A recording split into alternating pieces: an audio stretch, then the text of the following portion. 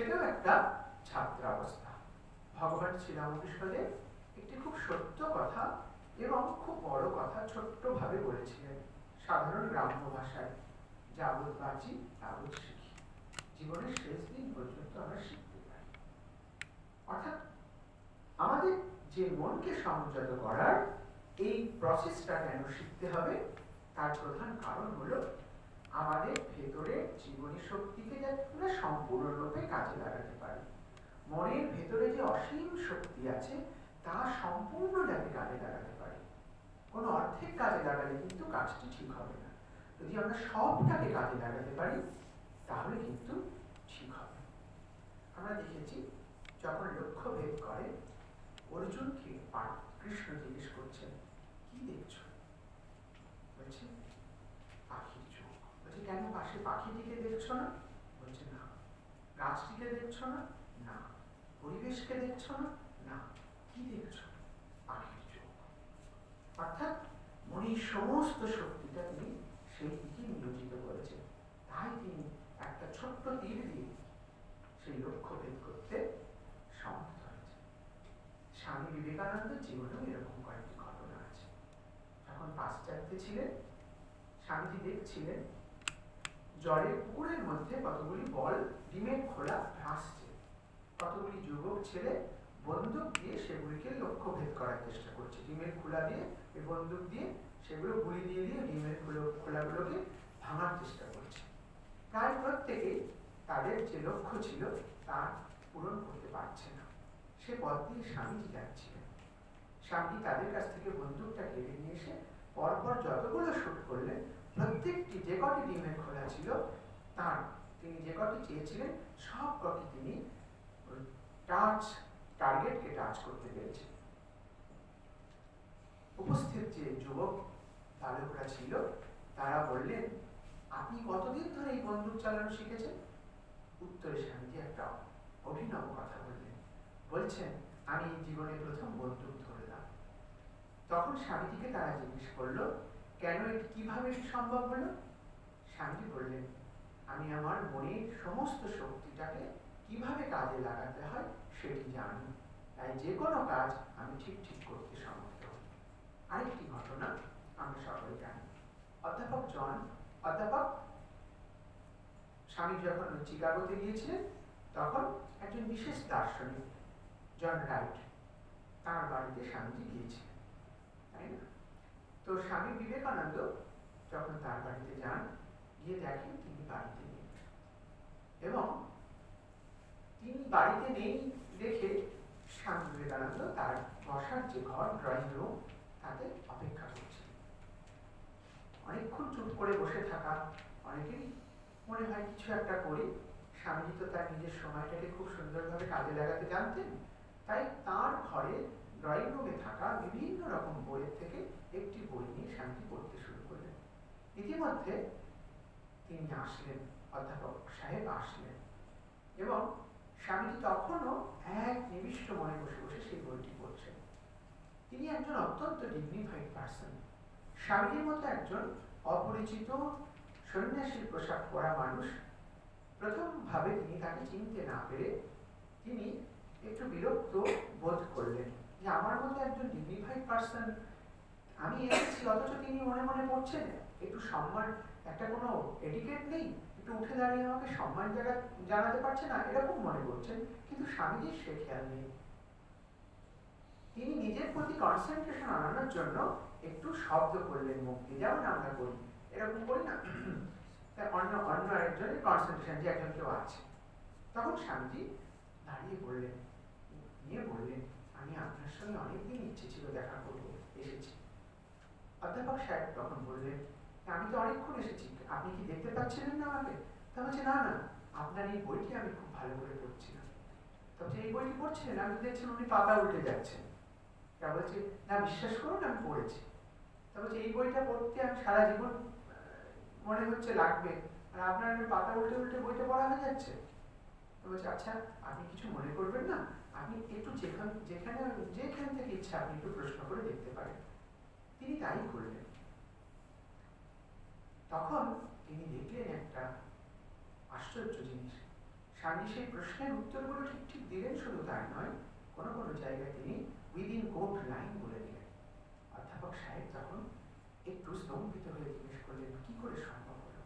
তিনি তখন এই মনের ব্যায়ামটা ঠিক ঠিক করলে তার কি ফল হয়, সেটা তাকে বোঝালেন। স্বামী বিবেকানন্দের জীবনে এরকম অনেক ঘটনা যেটার জন্য তিনি বলেছিলেন, মনকে যদি ঠিক ঠিক আমরা কাজে লাগাতে পারি, মনকে যদি আমাদের বসে আনতে পারি, তাহলে ঠিক ঠিক জীবনের সফলতা লাভ করা যায়। অর্থাৎ এক কথায় যদি আমরা ভাবি, আমরা মনঃসংযোগ কেন করব? ধ্যান করার জন্য না। মনঃসংযোগ করব কেন? জীবনের সফলতাটাকে পূর্ণরূপে বিকাশ বিকাশ করার জন্য। আমরা যা হতে চাই, পাঁচ পথে অনেক সময় আমরা হতে পারি না। আমরা দেখি যারা স্কুল জীবনে একরকম নাম্বার পাই হায়ার সেকেন্ডারিতে গেলে নাম্বারটা অনেক সময় কমে যায়। কলেজে গেলে আমরা কোনো কোনো সময় ইয়ার গ্যাপ হয়ে যায়। কেন হয়? আমাদের মনটা আমাদের বসে নেই মন যা চাইছে, আমরা তাই করছি। আমি যা চাইছি, মন সেটা করে না। তাই জন্য আমাদের জীবনের যে সফলতা আমরা ঠিক করে থাকি, যে উদ্দেশ্যে পৌঁছাবো বলে আমরা ঠিক করে থাকি, বেশিরভাগ ক্ষেত্রে তাতে আমরা পৌঁছাতে পারি শান্তি তাই বলেছিলেন যে মনটাকে সংযত করা একান্ত দরকার। মনকে সংযত করার জন্য কতগুলি বায়োলজিক্যাল সিস্টেম আছে, কতগুলো বৈজ্ঞানিক সত্য আছে, এগুলোকে আমাদের জানতে হবে এবং মানতে হবে। তা না হলে কিন্তু এই কঠিন কাজটা, যেটা পৃথিবীর প্রায় কারোরই থাকে না, যেটাকে নাকি সংযত করার জন্য ঋষি মুনিরা তপস্যা করেছেন পাহাড় জঙ্গলে বসে। আর আমরা এত কিছু নিয়ে যখন থাকি, কীভাবে মনটাকে এত সহজে সংযত করতে পারব? কি হয়? তাই জন্য কিছু প্রসেস করে দিয়েছে। বিশেষ করে স্বামী বিবেকানন্দ। আমরা এখানে যারা আছি, শিক্ষানুষ। জীবনটাকে সবে শুরু করছি। আমরা কোনো সাধক নই। কিন্তু আমাদের সাধনার শুরুটা এখানে হচ্ছে। তাই জন্য আমাদের জন্য কিন্তু সবটা নিয়ম সবভাবে নয়। শুরুটা যদি একটা বিশাল বড় তোমার সামনে, আমার সামনে যদি একটা, যখন আমি ক্লাস ওয়ানে পড়ি, তখন যদি আমার কাছে ক্লাস ফাইভের একটা বই এনে দিয়ে বলে, পড়ো। আমি কি পড়তে পারব? না। Step by step step by step তারপরে কিন্তু আমি সেই পিএইচডি করব। প্রথমে কিন্তু ক্লাস ওয়ানকে ভুলে গেলে হবে না। প্রথমে কিন্তু কেউ ডক্টরেট ডিগ্রি পায় না। অর্থাৎ স্টেপ বাই স্টেপ যেতে আমরা যেহেতু সাধনা শুরু করছি, সংকল্প করছি, তাই আমাদের একটা স্টেপ আছে। প্রথমে কেন আমরা জানলাম জীবনের সফলতাকে ঠিক ঠিক পূর্ণ বিকাশ করার জন্য? জীবনের যে জীবনী শক্তি আছে, সেটাকে পূর্ণ বিকাশ করার জন্য বা পূর্ণ কাজে লাগানোর জন্য আমরা মনঃসংযোগ করব। এবং এই কাজটা কি যে মনটা আমাদের সব কাজে লাগে কাজ কি? এবার জানতে হবে। আমরা যা কিছু করব, তাকেই আমরা কাজ করি খাওয়া, চলা, ঘুমানো, বেড়ানো কথা বলা, বসে থাকা, এটা বিজ্ঞান বলছে। কিন্তু মনকে কেন সংযত করব? এর জন্য কাজের একটা নতুন সংজ্ঞা স্বামী বিবেকানন্দ বললেন কি বললেন বললেন আমাদের লক্ষ্যে পৌঁছানোর জন্য যেটি আমরা করব, তাকেই বলব কাজ। আর যদি লক্ষ্যটা হয় নিজের এবং সমাজের দশের কল্যাণ তাহলে সেটা উত্তম কাজ। আমাদের আর উদ্দেশ্য হবে সে উত্তম কাজ করা। যা আমারও ভালো লাগবে, ভালো হবে, অন্যেরও সেটা কল্যাণ হবে। কারোর ক্ষতির কারণ হবে না। যে উত্তম কাজ আমরা করব। স্বামী বিবেকানন্দ খুব সুন্দরভাবে ভারতবর্ষ তথা বিশ্বের অনেক মনীষীরা এই মন নিয়ে গবেষণা করেছেন। তারা লিখে গেছেন, বলে গেছেন। স্বামীজি অনেক চেষ্টা করে, অনেক কষ্ট করে। ঋষি পতঞ্জল, তিনি তার যোগসূত্রে যে মনকে সংযত করার যে উপায় বলেছিলেন, স্বামী তার থেকে কাস্ট করে তার নির্যাসটা যুব সমাজের কাছে রেখে গিয়েছিলেন। ধ্যান রূপে নয়, মনের ধ্যান কীভাবে করতে হয় রূপ স্বামীজি বললেন, আমাদের উত্তম কাজ বা কাজে সফলতা কীভাবে আসে? কতগুলো জিনিস বলে বলে প্রথম হচ্ছে ইচ্ছে শক্তিকে আমরা পূর্ণ মাত্রায় যদি কাজে লাগাই। প্রত্যেকের ভেতরে ইচ্ছে শক্তি আছে, তাহলে কি হবে? ইচ্ছে শক্তিকে কাজে লাগাতে হবে। তাহলে একটা হচ্ছে ইচ্ছে শক্তি, উত্তম কাজ করার জন্য। দ্বিতীয় হচ্ছে সংকল্প। কাজটি কি করব? তার একটা সংকল্প আমাদের প্রথম থেকে নিতে হবে। সংকল্প ছাড়া কোনো কিছু হয় না।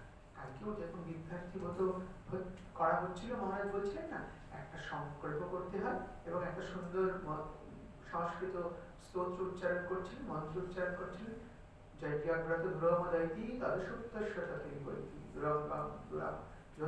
জ্যোতিরেকম তাহলে মৌনম শিব সংকল্প বস্তু শুভ, শিব মানে শুভ। একটা শুভ সংকল্প আমাদের দরকার। তারপরে বলছে চেষ্টা। শুধু ইচ্ছা শক্তি খুব ইচ্ছা শক্তি টকমক করছে। সংকল্প একটা নিয়েছি, আকাশ কুসুম। কিন্তু আমার কোনো চেষ্টা নেই। হবে, শেষ হবে? কাজে আমরা পৌঁছাতে পারব? পারব না। তারপরে বলছি, ধৈর্য। একটা কাজ অত সহজে হয় না। এখানে যে আমরা এসেছি, অত সহজে আমরা বুঝব না। স্বামী ব্রহ্মানন্দজি যারা নতুন নতুন বেলুর মঠে এসে জয়েন করতেন, তারা তাদেরকে একটা খুব সত্য কথা, খুব সহজভাবে হাসতে হাসতে বলেছিলেন। বলছেন, দেখ যখন দেখবি ঘুম পাচ্ছে, যখন দেখবি মনের ব্যায়াম ভালো করে জব করতে গিয়ে ঘুমিয়ে পড়ে যাচ্ছিস, ভয় পাবি না। দাঁড়িয়ে পড়বি, হাঁটবি, চলবি জব করতে করতে হাঁটবি জব করতে করতে চলবি, কিন্তু মনে রাখবি বসা ছাড়বি না। ওই টাইমটা আমি যে যে কাজটা করি, সেই টাইমটা আমি সে কাজটাই করব, তাতে যেভাবেই হোক করব। এই যে একটা চেষ্টা, প্রয়াস, অর্থাৎ আমাকে করতেই হবে। আমার যত বাধা বাধা আসুক আমি সেটাকে দূর করব। এটাকে বলে চেষ্টা। আর তারপরে বলে ধৈর্য। মানে আমার আমার অসীম একটা ধৈর্য থাকবে যে আমি এবার ঠিক আমার লক্ষ্যে পৌঁছানোর জন্য যেভাবেই হোক আমি আমাকে কাজে লাগাবোই লাগাবো। তারপরে একটা কি আছে জানো? অধ্যবসায়। এমনি এমনি হয় না জানো? আমরা তো অনেক রকম কিছু পড়ি কিন্তু তুমি যদি না পড়াশুনো করো, রাত দিন আপডেট না থাকো, নানান জিনিস নিয়ে চিন্তা না করো, তাহলে মহা বিশ্বের অনেক কিছু আছে। যা তোমার কাছে মনে হবে ওই জন্য অধ্যবসায় এখন স্বামীজির বাড়িতে তিন রাত আমরা থাকব। এটি কি আমাদের ভাবনায় ছিল? এখানে যারা এসেছি, কোনোদিনও পারব? কিন্তু অনেক দিন তোমাদের সুপ্ত মন, চেতন, অবচেতন মনে একটা প্রার্থনা ছিল। তাই আমরা এখানে আসতে পেরেছি। একে বলে অধ্যবসায় মানে আমি জানব তারপরে বলছে একটা উদ্যম একটা অসীম উদ্যম আমাদের মধ্যে প্রত্যেকের মধ্যে আছে কিন্তু সেটা আমরা অনেক সময় জানি না বলে কাজে লাগাতে পারি না সেটাকে আমাদের কাজে লাগাতে চেষ্টা করতে হবে আর একটা নিষ্ঠা প্রত্যেকটি কাজে একটা নিষ্ঠা একটা পবিত্রতার ভাব এটা থাকার দরকার যেন আমরা সব কাজটি করছি পুজো করার জন্য আমার পিতা মাতার সেবা থেকে বাড়ির সমস্ত কাজ থেকে, পড়াশোনা থেকে এবং আমার অফিসের কাজ থেকে প্রত্যেকটি যেন আমার কাছে একটা পুজোর মতো মনে হয়। একে বলে নিষ্ঠা। তারপরে আমাদের এই যে তার ইচ্ছা, শক্তি, সংকল্প, চেষ্টা, ধৈর্য, অধ্যবসায়, উদ্যম, নিষ্ঠা, এই করা যদি আমরা ঠিক ঠিক কাজে লাগাতে পারি আলটিমেট ফলটা হবে আমরা উত্তম কাজের দিকে যাব। এইটা করতে গিয়ে আমাদের একটা দরকার। কারণ মনের ইচ্ছা ইত্যাদির জন্যই তাহার দেহের চেষ্টা এবং ওই প্রযত্নের ফলে আমাদের কিন্তু একটা কাজ বাস্তবে রূপ দেয়। এইবারে একটা, প্রথম তাহলে আমরা মন কি কেন জানলাম? কেন আমরা মনের সংযোগ করলাম সেটা জানলাম। মনের সংযোগ কেন করব? আমরা উত্তম কাজ করব বলে করি, যেটা জানলাম। কাজের সংজ্ঞা নতুন ভাবে স্বামীর কাছ থেকে আমরা জানলাম।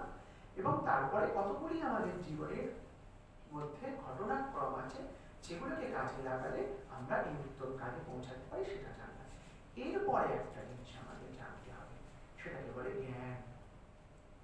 জ্ঞান ছাড়া কিন্তু আমাদের কোনো কাজ এভাবে উপনিষদে খুব বারবার বলেছে অর্থাৎ আমাদের কিন্তু সিক্সটি পার্সেন্ট যদি একশোতে ধরো সিক্সটি পার্সেন্ট পড়াশুনো করতে হবে ফর্টি পার্সেন্ট তার থেকে হবে। যদি আমি ঠিক ঠিক না জানি, শুধু গীতাটা মাথায় তুলে নিয়ে রেখে দিলাম। কোরআনটা মাথায় তুলে নিয়ে রেখে দিলাম। বাইবেলটা মাথায় তুলে নিয়ে রেখে দিলাম।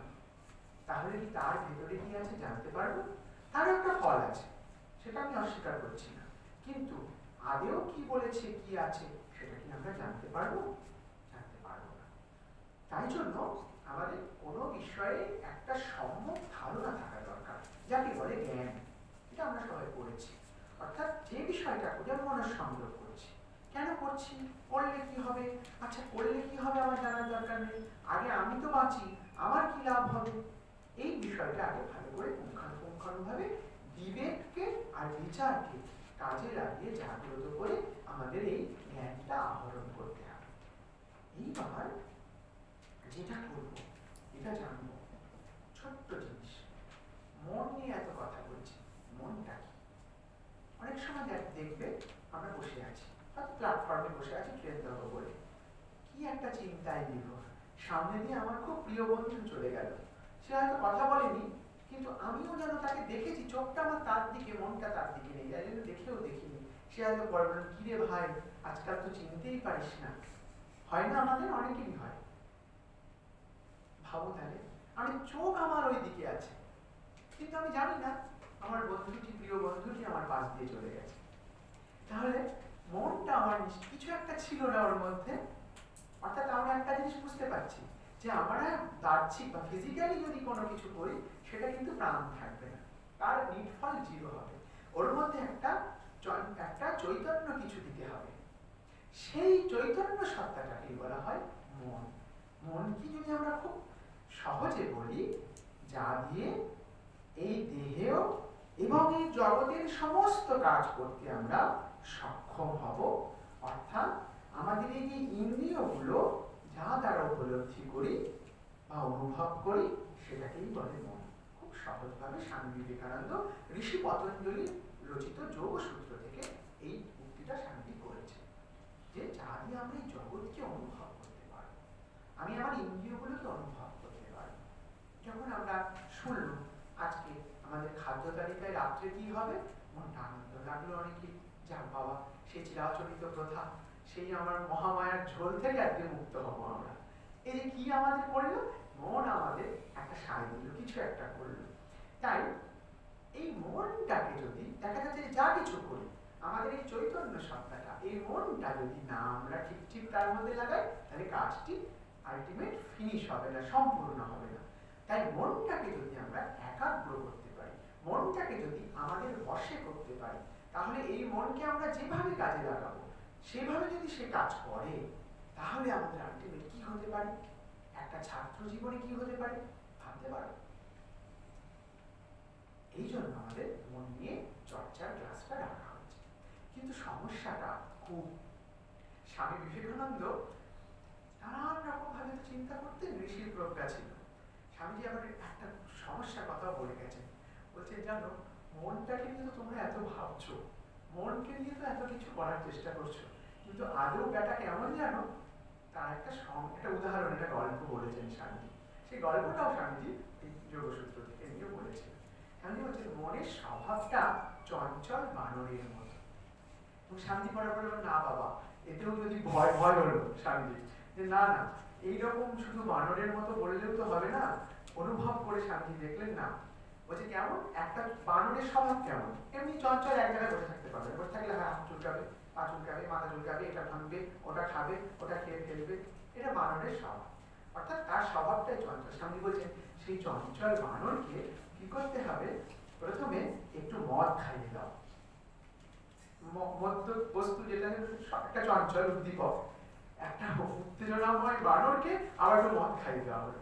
বলছি, তাহলে তার চঞ্চলতা কতটা বাড়বে বড় স্বামী বলছে আমাদের মনটা ওরকম চঞ্চল তারপরে বলছে, না না, এতেও থেমে থাকলে হবে না। বলছে, ওই চঞ্চল, স্বভাব চঞ্চল, মদ্যপ বানরটাকে যদি এটা বিছে কামড়ে দেয়, কাঁকড়া বিছে, তাহলে তার যন্ত্রণায় সে কেমন চঞ্চলতা করবে? স্বামীজি বলছে মনটা মনে হয় এরকম চঞ্চল। তারপরে বলছেন আর একটু এগিয়ে গেলেও ভালো হয়। এত ছোট তো মন নয়। এত, তাও বোধ শান্ত শান্ত মনে হচ্ছে। তারপর বলছে স্বভাব চঞ্চল, মদ্য, বিছে কামড়ানো, যন্ত্রণা ক্লিষ্ট বানরকে যদি একটা, তার ঘাড়ে একটা ভূত এসে যাবে তাহলে তার চঞ্চলতা কেমন বাড়বে শান্তি বলছেন, আর আমার উদাহরণ মনে আসছে না। মনটা ঠিক, এর চেয়েও চঞ্চল। শ্রী শ্রী মা দেবী আইদারা বলছেন, মন নামা মত্ত হস্তি মানে মনটা এইরকম স্বামী বলছেন, এই এত চঞ্চল মনকে নিয়ে কাজ করা তো এত সোজা নয়। একটা ক্লাসে তো এটার ধারণা দেওয়া যেতে পারে, কিন্তু এটার অভ্যাস করা তো যেতে পারে না। মন বসিয়ে একেবারে চোখ বোঝালেই স্বয়ং ভগবান সামনে নেমে এসেছে, আমাকে আলিঙ্গন করছে। এরকম তো দেখানো সম্ভব নয়। কারণ চঞ্চল মন এইরকম। কিন্তু স্বামী বিবেকানন্দ বলছেন তিনি রিসার্চ করেছেন করে দেখেছেন আমাদের বয়সে যুবকদের মোটামুটি এই মনটা কেন চঞ্চল হয়? তিনি কতগুলো পয়েন্ট বলে দিলেন? বলছে জানো, প্রথম হচ্ছে মনটা চঞ্চল হয় কেন জানো? এই বানরের গল্পটা আমি তোমাদের এমনি শোনাইনি। মন চঞ্চল হওয়ার কারণটা এই গল্পের মধ্যে লুকিয়ে আছে। কি? না, বলছে, আমাদের মনটা এমনি চঞ্চল। তার মধ্যে ওই মদ রূপ কামনা আমাদের, কামনা, বাসনা সবসময়, আমার এটা হলে ভালো হয়। আরে আমার বন্ধু দেখলাম পাথর বসিয়েছে, আমার বন্ধু দেখলাম এইটা কিনেছে, আমি জীবনে সব ব্যাকডেটেড হয়ে যাচ্ছি, আমাকে ওটা কিনতে হবে, আমাকে ওটা করতে হবে, আমাকে ওই জায়গায় বিলংস করতে হবে। আমার একটা বেশ ভালো শার্ট না পরলে হচ্ছে না, আমার সাইকেলটা বেশ সাধারণ সাইকেল চলছে না, আমার একটা বাইকটা কেটিএম না কিনলে হচ্ছে না। এই যে কামনা, বাসনা সবসময়, এটা হচ্ছে মদ মদ রূপ মদিরা রূপ আমাদেরকে সবসময় পুড়ে পুড়ে খায়। তাই আমাদের শান্ত হতে দেয় না। স্বামীজি বলছেন এরপরে যেন কি হয়? ওই যে বলল না, মদ্যপ বানরকে বিছা কামড়েছে। স্বামী সেই বিছাটা কি জানো? আসলেও আমাদের মধ্যেই আছে। সেটা ঈর্ষা হিংসা আমরা কারোর ভালো দেখতে পারি না। একটা গল্প স্বামীজি বলেছিলেন। নাম বললে নয়। কতগুলো জায়গা থেকে একটা হাঁড়ি আনা ওই হাঁড়ির মধ্যে সব একটা টেস্ট করার জন্য। কাঁকড়া নিয়ে আসা হয়েছে। সে কাঁকড়াগুলো হাঁড়িতে রাখা হয়েছে এবং সব হাঁড়িগুলোকে ঢেকে রাখা হয়েছে। এক যিনি পরীক্ষক তাকে বলেন দেখবেন তো কোন কাঁকড়াগুলো কি, কেমন, কি বিহেভিয়ার টিহেভিয়ার বিভিন্ন দেশ থেকে আনা হয়েছে। বিশেষ করে আমাদের দেশ থেকে যে হাঁড়িটি ছিল, তো সেই তিনি অবজার্ভার বলছেন, সবগুলো ভালো করে ঢেকে রাখো এবং দেখছে ঢেকে রাখলেও হচ্ছে না, তার হাঁড়ি মানে সরা খুলে দিয়ে চলে আসছে। ওর মধ্যে আবার শক্ত কিছু ওয়েট চাপাতে হচ্ছে। আর যেটি ভারত মানে আমাদের দেশ থেকে আনা হচ্ছে, সেই হাঁড়িটার মধ্যে দেখছেন কিছু না দিলেও চলছে মানে এমনি কেউ আর বেরোচ্ছে না। তার তার কাছে গিয়ে যখন দেখলেন, দেখা গেল যে একটি কাঁকড়া যখন উঠতে চাইছে, আরেকটি কাঁকড়া নিচে নামিয়ে দিচ্ছে। অর্থাৎ কেউ কাউকে ভালো চাইছে না। সবাই সবাইকে ঈর্ষা করছে। তো আমাদের মনের মধ্যে ওরকম ঈর্ষা একটা আছে। আমরা সাধারণত ভালো চাই না। দুঃখে কাঁদতে পারি, বটে, সুখে হাসতে পারি না। তা বলছি এইটা একটা মনের একটা সংযত হওয়ার বড় বাধা। তারপরে বলছে এই ভূতটা কি? এটা হচ্ছে অহংকার। যদি একটু আমরা উপরে উঠেছি তো, আর আমি সাধারণ মানুষের মধ্যে নই, আমি একটা অন্য জগতের মানুষ। এই যে এই অহংকার আমাদের কিন্তু পুড়ে পুড়ে খাচ্ছে স্বামী বলছে, এই যে হিংসা, এই যে আমাদের কামনা বাসনা, এই অহংকার, এটাই আমাদের মনকে একাগ্র করতে না দেওয়া প্রধান বাধা তাহলে স্বামী বলছেন কিন্তু স্বামী পাশে একটা উদাহরণ দিয়ে আবার বলছেন বলছেন কিন্তু জানো যদি কোনো রকম ভাবে করা যেত তাহলে কি যে ফল পাওয়া যেত একটা উদাহরণ স্বামী বললেন কি বললেন যে সূর্য সূর্যের সমগ্র পৃথিবীকে আলো দিচ্ছে কিন্তু আমরা প্রত্যেকেই তার স্বরূপটা জানি সূর্যের কাছে যেতে পারি না কয়েকশো কিলোমিটার আগে থেকেই আমাদের অগ্নিতে দগ্ধ হয়ে যেতে হয় অর্থাৎ সূর্য প্রচণ্ড তাপরাশির একটা উৎস। সেই সূর্যের আলো যখন পৃথিবীতে পড়ে, আমরা কি সব পুড়ে যাই? আমি যদি খালি গায়ে রৌদ্রের ছাদের উপরে দাঁড়িয়ে থাকি, আমি কি পুড়ে যাই? যাই না। কিন্তু আমরা প্রত্যেকেই জানি, একটা বৈজ্ঞানিক সত্য। যদি আমরা একটা উত্তর লেন্স দিয়ে একটি সাদা কাগজকে নিচে রেখে সূর্যের ওই প্রচণ্ড কিরণটাকে, বিচ্ছুরিত কিরণটাকে একটি বিন্দুতে আপতিত করি এবং কিছুক্ষণ তাকে ধরে রাখি ওতে দেখব স্থিরভাবে ধরে রাখলে ওই বিন্দুটি যেখানে ওই রশ্মিটি আপতিত হচ্ছিল, সেই কাগজটি আস্তে আস্তে আস্তে আস্তে আগুন ধরে দেয় স্বামীজি এর থেকে বোঝাচ্ছে দেখো, সেই তেজরাশি প্রচণ্ড যখন সে ছড়িয়ে পড়ল, তখন তার শক্তি অনুধাবন করতে পারলাম না। কিন্তু সেই তেজরাশিকে যখন আমরা এক বিন্দুতে কনসেন্ট্রেট করলাম, তখন তার কি তেজ বুঝতে পারলাম? আমাদের মনটাও ঠিক তেমনি ছড়িয়ে থাকে স্ক্যাটার্ড হয়ে থাকে, তার শক্তিটা আমরা অনুধাবন করতে পারি না। যখন তাকে আমরা একাগ্র করি, তখন তার মধ্যে যে কি শক্তি, সেটা আমরা বুঝতে পারি। তাই আমাদের সবার আগে দরকার মনকে সংযত করা। কিন্তু এই সংযত করাটা তো খুব সহজ নয়।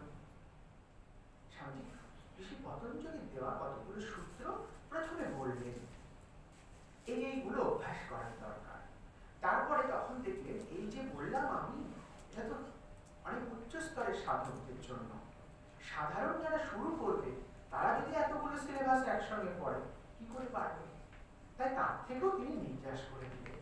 আমাদেরকে গাইড করার জন্য। কারণ আমরা জানি, স্বামী বিবেকানন্দই একমাত্র, যিনি আমাদেরকে বুঝতেন। স্বামী নিজে বলেছেন না, আমি জানি তোমাদের পায়ে কোথায় কাঁটা দিয়েছে। আমিও তোমাদের মতো কলকাতার রাস্তায় রাস্তায় খেয়াল করতাম।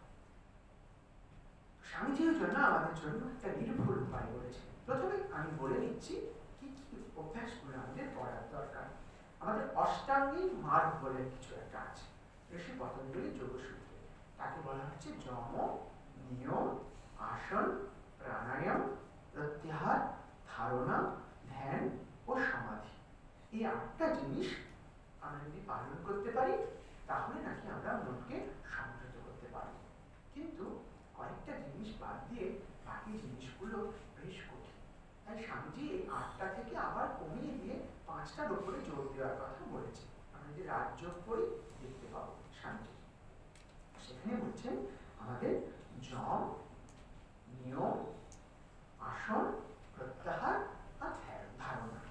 বলছে, এই পাঁচটা জিনিস অন্য কিছু না জব মানে সংযম নিয়ম মানে কতগুলো আচার আসন মানে একটা বসার রীতি প্রত্যাহার মানে সদ অসদ বিচার করে কিছু জিনিসকে রাখা জিনিসকে ত্যাগ করা ধারণা যেটা জ্ঞান থেকে আসে কিছু বিষয়ে আমার সম্ভব জ্ঞান দরকার এর থেকেও স্বামী আবার কমিয়ে দিলেন বলছেন দুটো জিনিসকে প্রথম শুরু করো তারপরে বাকি তিনটেতে যেতে হবে step by step lower nursery upper nursery one two three four school college university একদম বলে স্বামীজি বললাম না স্বামী দেশের জন্য দেশের যুবকদের, দেশের কাজে নিজের সম্ভাবনাকে বিকশ যে আমাদের প্রত্যেকের মধ্যে অনন্ত শক্তি আছে, কিন্তু সেই শক্তিটা আমরা বুঝতে পারি না।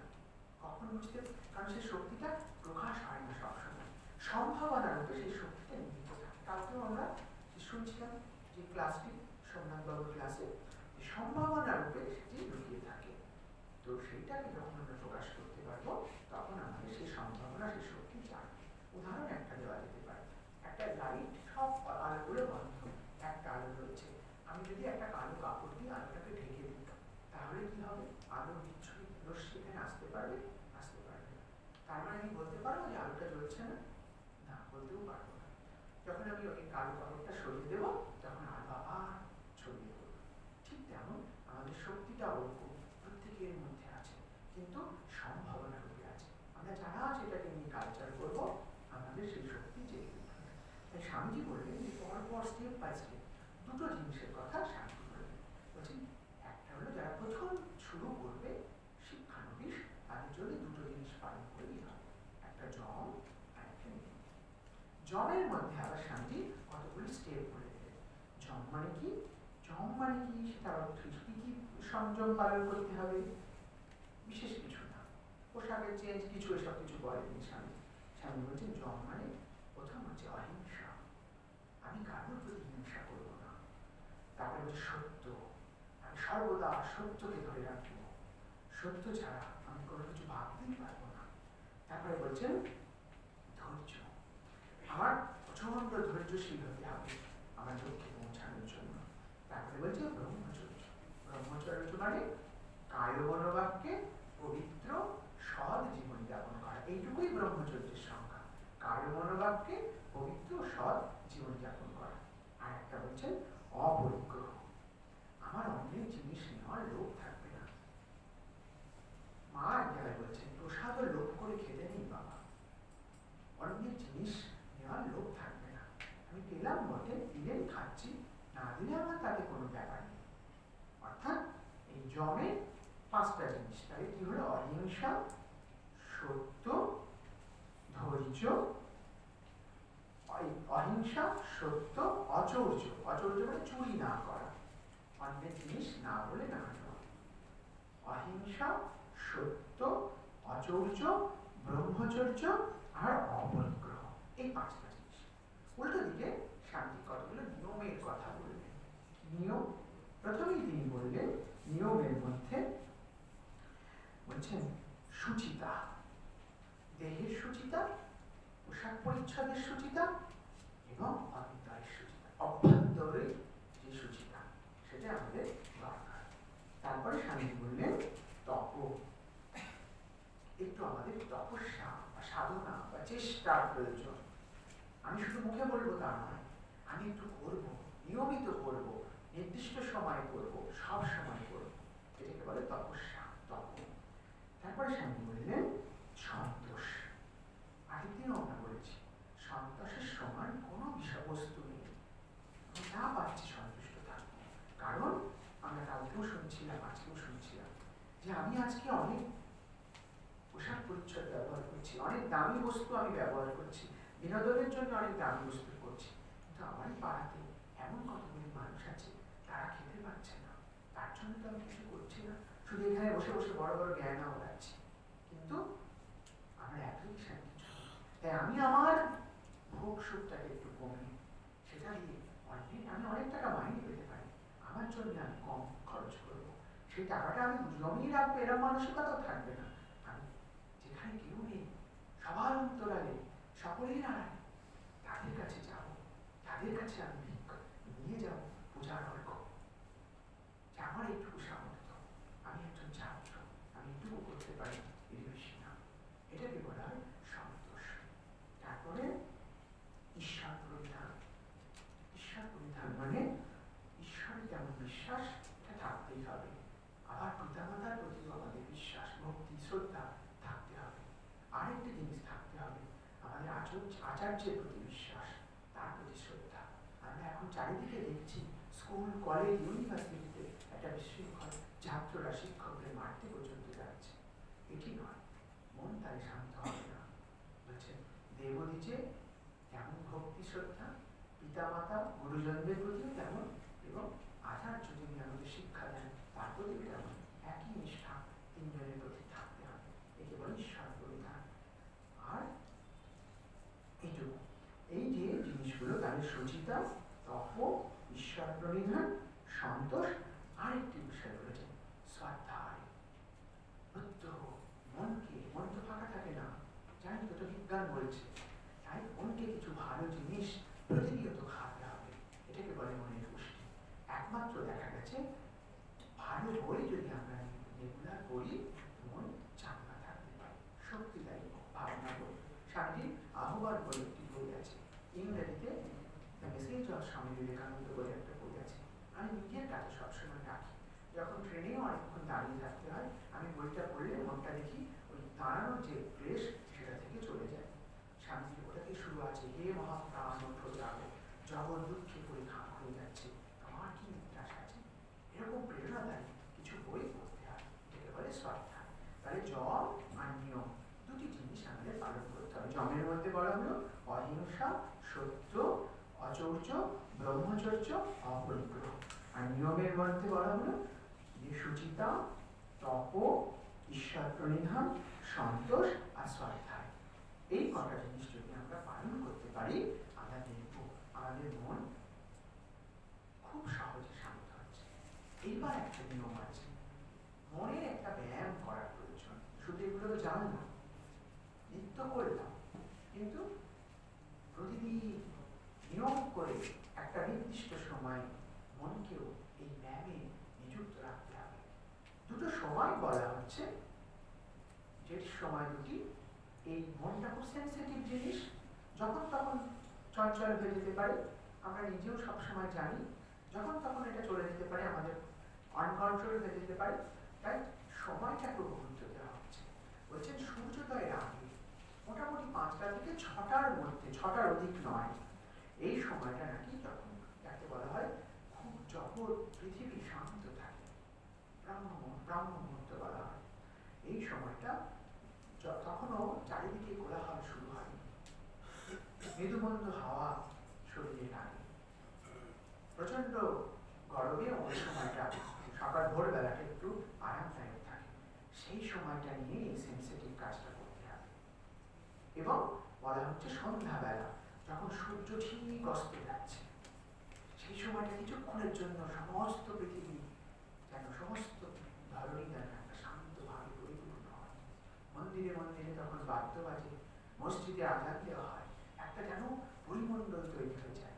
ওই সময়টাকে বাচ্চার কথা বলা হচ্ছে। কিন্তু আমরা ছাত্র বা কেউ কেউ বিভিন্ন বিষয়ে যুক্ত। সকালবেলাটা ঠিক সময় পেলেও সন্ধ্যাবেলাটা হয়তো অনেক সময় পাই না। তাই বলা হচ্ছে পরিবর্তে। পারলে ওই সময় পরিবর্তে শুতে যাওয়ার আগে আমরা এই প্র্যাকটিসটা করব। কি করব? প্রথমে আমরা সাধারণ আসন করে বসবো। যে আসনটা আমি একটা পায়ের উপরে একটা পা দিয়ে বসতে পারি বা যেমন আমরা বাবু করে বসি, যেটা আমার শরীরে ক্লেশ হয় না। কারণ মনটা যদি শরীরে ক্লেশের দিকে যায়, তাহলে আমি পদ্মাসনে বসলাম। আমার কোনোদিনও পদ্মাসন করার অভ্যাস নেই। বাবা গো, পা গেল গো, পা গেল তোমার মন শান্ত হবে কি করে? পায়ের দিকে মন চলে যাচ্ছে। ওই জন্য যার যেমন সহ্য হয়, ওই আসনে বসে। বসে করতে হবে কি? প্রথমে মন কি আজকে সকালে যেমন হলো, প্রত্যাহার। ছেড়ে দিতে হবে। দিকে যাচ্ছে। দেখি তো, একটা কোন যায়? দেখা যাবে। সারাদিন কি করেছি? কতদিন কি করেছি? কত বন্ধুর সঙ্গে কোন জায়গায় চ্যাট করা শেষ করেছি? কত জিনিস যে মনে আসছে। তারপরে মনে মনে ভাবতে হবে হা ভগবান, এই নিয়ে আমি জীবনের সফলতা লাভ করব? এই সংকল্প করেছিলাম? এই তো অবস্থা পড়াশোনা তখন হবে, দেখ, এতদিন আমি বুঝেছি তুই আমাকে বিপদে পরিচালিত করেছিস। তাই আমি যা চাইছিলাম, সেটা করি। তুই যা চেয়েছিস, তাই হয়েছে। মনকে শাসন এটাকে বলে। মনকে শাসন করে মনকে টেনে নিয়ে আসতে হবে।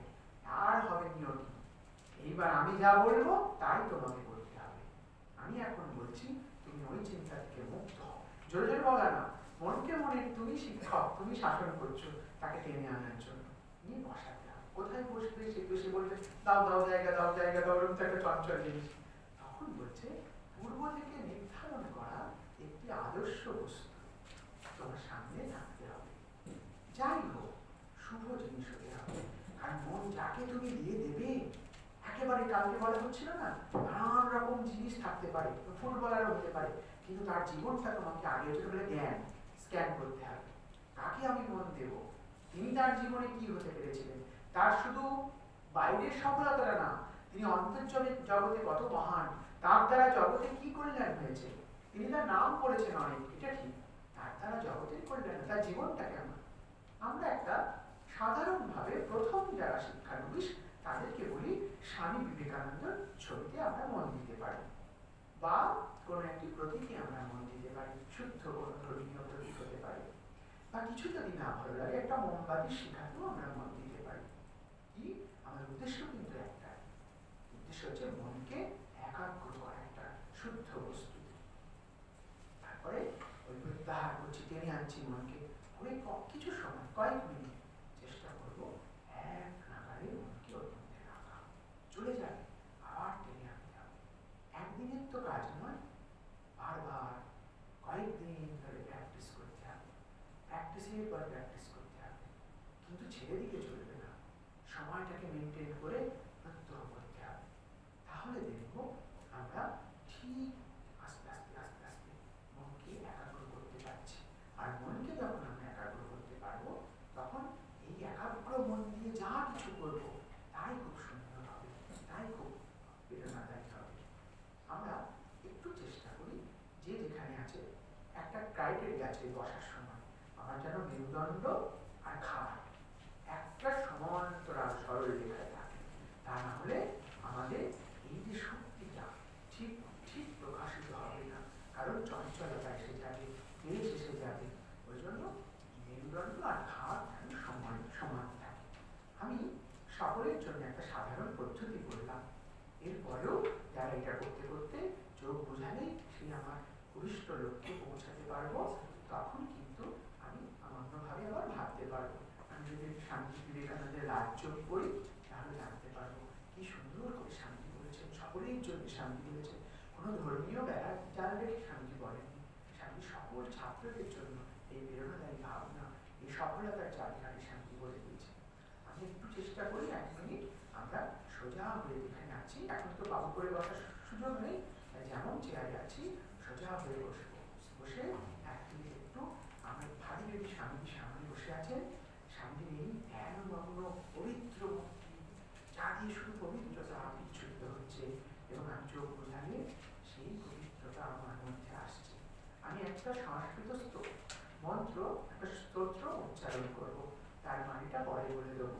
আমরা চেষ্টা করব এই মন্ত্রটার সঙ্গে স্বামী বিবেকানন্দকে বা কোনো ধর্মীয় প্রতীককে মনে আনা আস্তে আস্তে ভাববো তিনি আমার শরীর মনকে অধিকার করেছে? তার শুদ্ধ ভাব তিনি যেন আমার, আমি যেদিকে বসে আছি সেই দিকে মুখ করে আমার হৃদয়ে থাকা একটি পরিবৃত অষ্টদল লাল পদ্মের মধ্যে তিনি বসে এসে আমার শরীর মনকে তার শুভ ভাব দিয়ে অধিকার করে আছেন।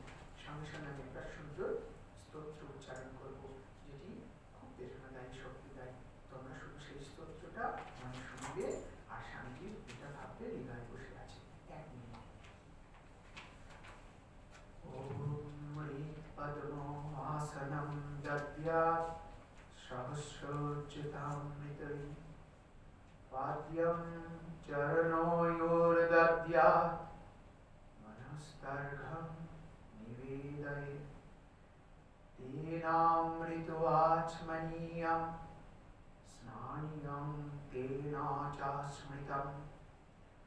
आकाशतत्त्वं वस्त्रं षट् गन्धषट् गन्धत्वत्वकं चित्तं प्रकल्पयेत् पुष्पं रूपं प्राणान् प्रकल्पयेत्। तेजस्त्वत्वं च दीपार्थं नैवेद्यं स्यात् सुधाम्बुधिः घनाहत धनिर्घण्टा। वायुतत्त्वञ्च चामरं सहस्रारं भवेच्छत्रं। शब्दतत्त्वञ्च गीतकम्। नृत्तविन्द्रियकर्माणि चाञ्चल्यं मनसस्तथा सुमेखालम् पद्ममालं पुष्पं तथा अमायार्दैर्भावपुष्पै भावश्चैर्भावगोचरम् अमायो मन अहङ्कारो अडागमो मनं तथा अमोहकमधं वञ्चो अत्रिषक्षो वकौ तथा अमात्सर्जो मलवञ्चो दशपुष्पं विदुर्बुधा अहिंसा परमं पुष्पम् पुष्पम् इन्द्रियो निग्रहं, दयापुष्पं, क्षमापुष्पं, ज्ञानपुष्पं च पञ्चमम्। इति पञ्चदश সম্পূজয় শিব। অর্থাৎ যাকে চিন্তা করছি, তিনি আমার হৃদয়ে লাল পদ্মে বসে আছেন তাকে আমি আহ্বান করলাম, স্বাগত জানালাম এবং আমার মন থেকে নিঃসৃত সুধা পাত্র মনোরূপ অর্ঘ তার চরণে নিবেদন করলাম। মনের গন্ধ মনের শুদ্ধ পুষ্প, ধূপ দ্বীপ সমস্ত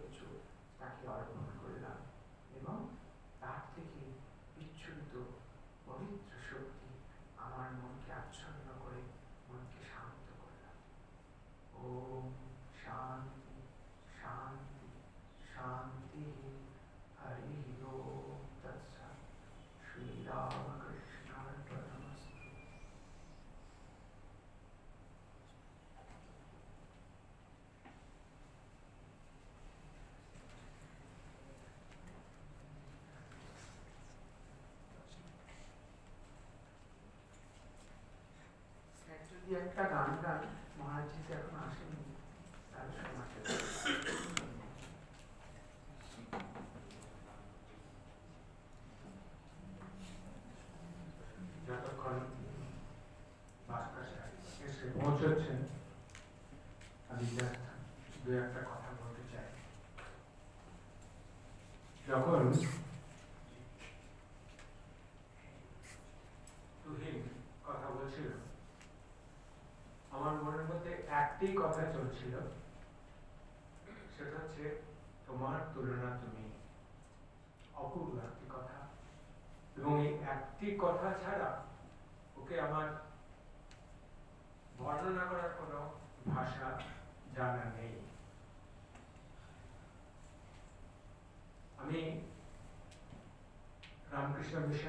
মিশনের সঙ্গে অঙ্গাঙ্গিভাবে গত আটষট্টি বছর ধরে জ্ঞানও তো জড়িত আছি।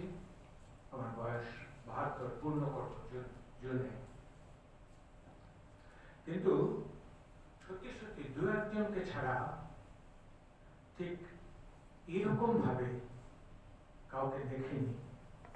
তোমাদের সত্যি ভাগ্য ভালো যে তোমরা ডক্টর তুহিনের মতো একজন আজকে পেলে এই প্রোগ্রামে আরও দুজন আজকেই সন্ধ্যাবেলায় আছেন। একজন প্রফেসর অরিজিৎ সরকার আর একজন স্বামী বেদতিতানন্দ বেদতিতানন্দের শরীর খুবই খারাপ। তবুও তিনি বলেছেন, আসবেন। তিনি আজকের আমাদের শেষ স্পিকার জানি না তিনি পৌঁছতে পারবেন কিনা, আশা করছি স্বামীজি তাকে নিয়ে আসবেন তোমাদের জন্য। কতখানি কতখানি নিজেকে নিয়োজিত করতে পারলে, নিজেকে তার মধ্যে নিমজ্জিত করতে পারলে, ঠিক এইভাবে এত শক্ত কথাকে সহজ কথায় নিয়ে আসা যায়? আমি জানি না, আমি পারি না। অনেক চেষ্টা করেছি, পারিনি। কারণ আমার মধ্যে ওই যে সন্দম নিয়ম আসন নেই। চেষ্টা করছি, কিন্তু কিছুতে পেরে উঠছি না। তোমাদের কি কেউ বলতে পারবে যে ডক্টর তুহিন মন বলতে কি বোঝালেন? মন কি দেহ? মন কি শরীর? মন কি অবয়ব? তাহলে কি বললেন? তাহলে আমরা কেন বসে আছি এখানে? যদি এইটুকু না নিতে পারি আমরা তো এখানে শুধু নিতে এসেছি। আর আমরা চেষ্টা করছি কিছু দেওয়ার। যদি তোমাদের যদি নেওয়ার ক্ষমতা না থাকে ইয়েস একটু ধারণা দিতে পারি। মানে সম্পূর্ণটা হয়তো বোঝাতে পারব না। মানে মন যেটা বোঝালো দাদা। দাদার কথা অনুযায়ী আমি যেটুকু বুঝলাম মন হলো এমন একটি বস্তু যা আমরা দেখতে পারি না ধর মানে ছুতে পারি না কিন্তু আমরা চাইলে অনুভব করতে পারি সেই জিনিসটাকে। একটি কথা বলেছেন আমি এত কথা যেতে চাইছি সে একটি কথা বলেছেন। আমাদের অন্তর্নিহিত চৈতন্য সত্তাকেই মন বলে। মনে আসছে কি কথাটা একবারও? আমাদের অন্তর্নিহিত চৈতন্য সত্তাকেই মন বলে। আর স্বামীজির ভাষায় কাজ কাকে বলে তিনি বললেন আমাদের? কাজ? লক্ষ্যে পৌঁছানোর জন্য আমরা চিঠি করছি। লক্ষ্যে পৌঁছানোর জন্য আমরা যা কিছু করছি, সেটি হচ্ছে উত্তম কাজ। কাজ হচ্ছে আমরা যা কিছু করছি, চিন্তা, ভাবনা, হাতে যা খুশি, সেগুলো হচ্ছে কাজ। আরও একটা কথা আমার খুব ভালো লেগেছে, যেটা আমি ভীষণ ভাবে সারা জীবন প্র্যাকটিস করে চলেছি বা আই সেটা হচ্ছে নিজের সাথে কথা বলা। আর নিজের সাথে কথা বলাটা হচ্ছে সেলফ অ্যানালাইসিস সারাদিন কি করছি বা এই যে কাজটা করছি, এটা ঠিক হচ্ছে তো? অথবা কাজটা করে ফেলার পরে আমি এটা ঠিক করলাম? নিজের সাথে কথা বলা আমাদের কনস্ট্যান্টলি চালিয়ে যেতেই হবে। না হলে আমাদের মন চঞ্চল থাকবেই। আমরা তাকে কিছুতেই ফিরিয়ে নিয়ে আসতে পারব না।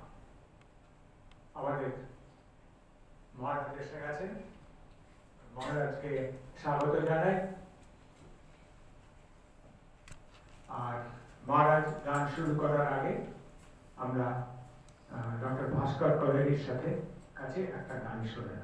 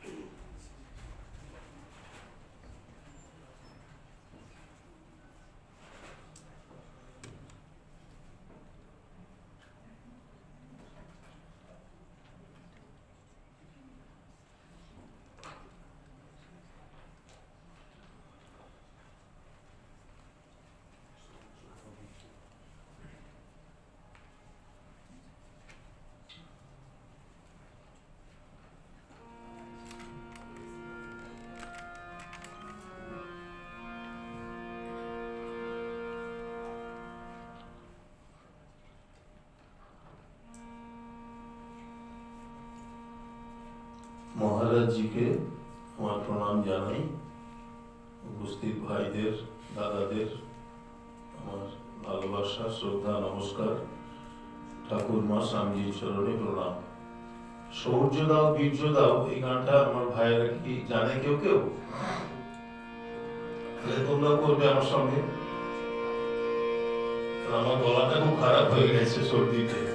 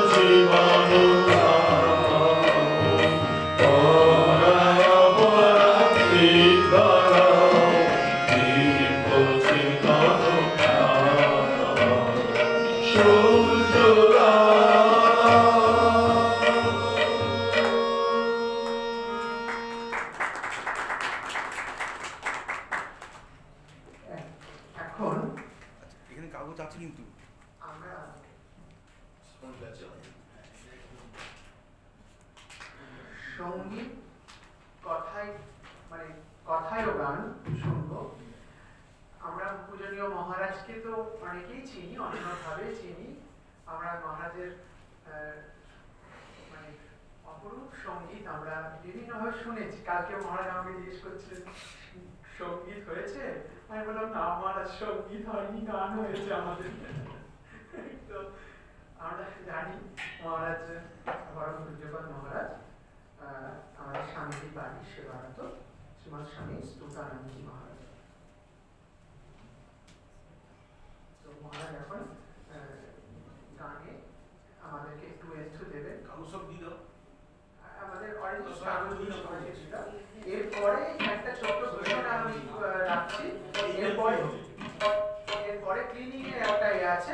আজকে অন্য জায়গায় ক্লিনিং হবে না, দুটো জায়গায়। একটা হচ্ছে যেটি প্রেয়ার হল, আর মহারাজ আরেকটি হল দেখাবি? হলের